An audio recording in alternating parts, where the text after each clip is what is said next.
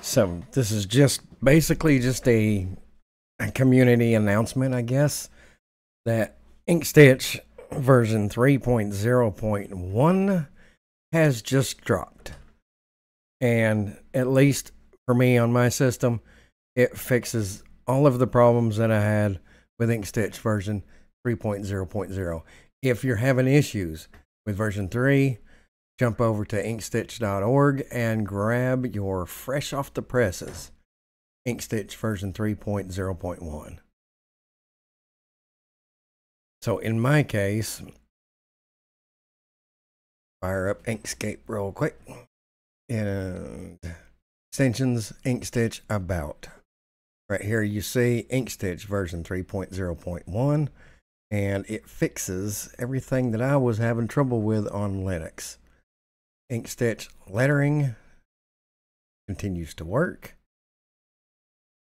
Uh, I'll just pick something. Let me grab that one.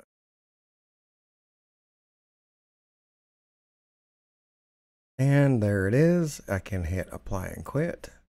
Beautiful, beautiful. Extensions InkStitch params.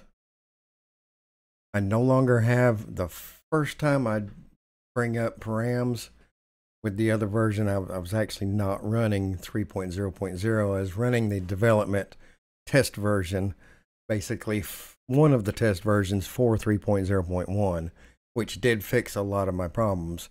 One of the problems it did not fix is the very first time I fired up params every single time that I ran a new instance of Inkscape, it would tell me it doesn't know what to do with that um, object. So I just fired up params for the very first time running this version, no issues whatsoever.